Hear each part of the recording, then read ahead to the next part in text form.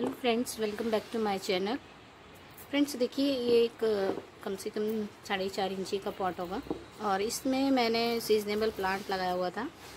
और सीजनेबल तो आप जानते ही हैं कि एक ही सीज़न निकाल पाते बाकी दूसरा सीज़न नहीं हो पाता है।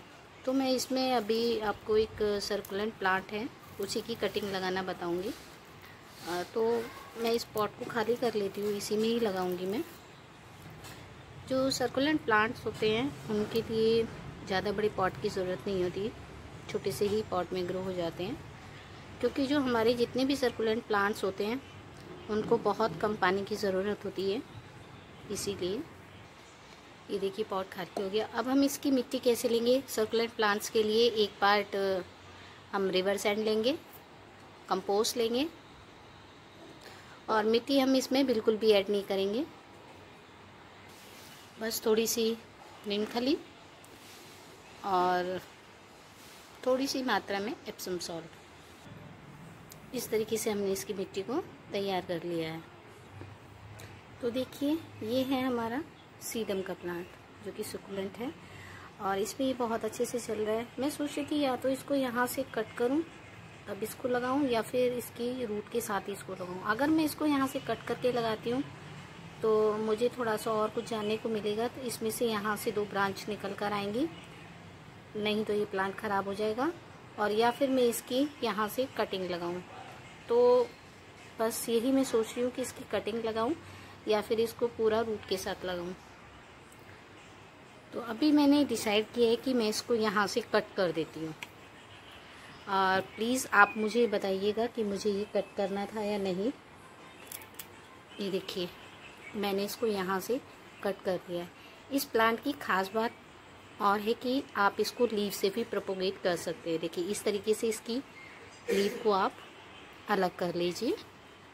मैं लीव से लगाना भी आपको बताऊँगी और इसका रिज़ल्ट भी आपको भी साथ साथ दिखाऊँगी कि मैंने इसकी लीव कुछ लगाई हैं, जो कि बहुत अच्छे से ग्रो हुई है। आप भी इस तरीके से घर में प्लांट लगा सकते हो। तो मैंने इसकी सारी नीचे की जो पत्तियाँ हैं उन सबको देखिए इस तरीके से रिमूव कर दिया है। इस प्लांट को ज़्यादा पानी की ज़रूरत नहीं होती इसीलिए इसकी मिट्टी को बिल्कुल वेल ड्रेन बनाया जाता है। मैंने इसकी जो मिट्टी तैयार की है उसमें बिल्कुल भी आ, मिट्टी का यूज़ नहीं किया है। आप भी जब भी इस तरह प्लांट रिपोर्टिंग करें या कटिंग लगाएँ तो आप उसमें मिट्टी ऐड ना करें। वैसे तो आप सुकुलेंट प्लांट्स की अगर कटिंग लगाते हैं तो आप उसको एक दिन के लिए छाया में सुखा दें तो कटिंग आपकी बहुत अच्छे से चलेगी। ऐसा करने से क्या होता है कि आपकी कटिंग में फंगस नहीं लगता है। बहुत कम चांस होते हैं और आपकी कटिंग हंड्रेड परसेंट सक्सेस होती है। मैंने इसकी मिट्टी में देखिए पानी इस तरह से डाल दिया है। अब हम इसमें सेंटर में होल्ड कर लेंगे।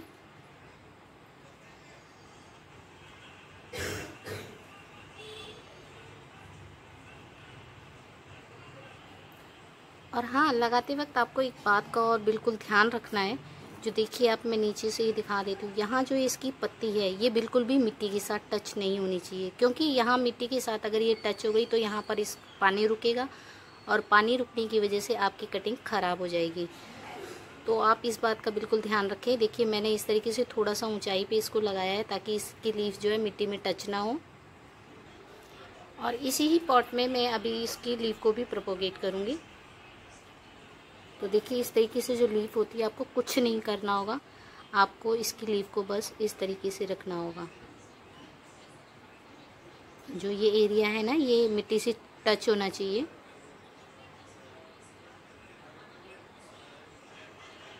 बस आप इस तरीके से रख दीजिए।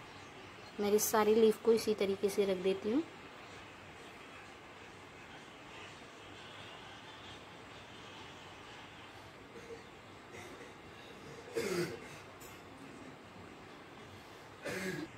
तो मैंने लीव को भी इसमें लगा दिया है। और ये जो हमारा, देखिए, कर, मैंने यहाँ से कट किया है, इसका भी मैं आपको रिज़ल्ट दिखाऊँगी कि यहाँ से इसकी क्या कंडीशन रही है। तो हमें कुछ ना कुछ सीखने को ही मिलेगा, ये जो प्लांट लगाया है, इससे भी और जो ये कट किया है, इससे भी। देखिए, कुछ समय पहले मैंने ये प्लांट लीव से ही प्रोपोगेट किए है। मैंने ये पॉट था, मैंने इसमें ही इसकी लीव को रख दिया था और उसी से ही आप देखिए ये प्लांट। तैयार हो गया। मैंने दो लीव रखी थी और दो प्लांट हमारे तैयार हो गए हैं। तो ज़रूरी नहीं है कि आपको सेपरेट ही पॉट चाहिए। आप किसी भी पॉट में इसकी लीव को इस तरीके से रख सकते हो तो ये आसानी से ग्रो हो जाती है। तो है ना फ्रेंड्स अच्छी बात। हमें नर्सरी से जाने की ज़रूरत भी नहीं होती है और घर भी हम अपने प्लांट को तैयार कर लेते हैं। ये प्लांट अगर आप नर्सरी से परचेज़ करते हैं तो ये सर्कुलेंट्स प्लांट्स जितने भी होते हैं, हमें कॉस्टली ही मिलते हैं। लेकिन अगर थोड़ी सी नॉलेज हमें मिल जाती है तो हम अपने ही गार्डन में बहुत सारे ऐसे प्लांट तैयार कर सकते हैं। तो आज का वीडियो यही था। वीडियो अगर अच्छा लगा हो तो लाइक शेयर कमेंट ज़रूर कीजिएगा। मैं आपको इसका रिज़ल्ट दिखाती रहूँगी। मिलते हैं नेक्स्ट वीडियो में। तब तक के लिए बाय बाय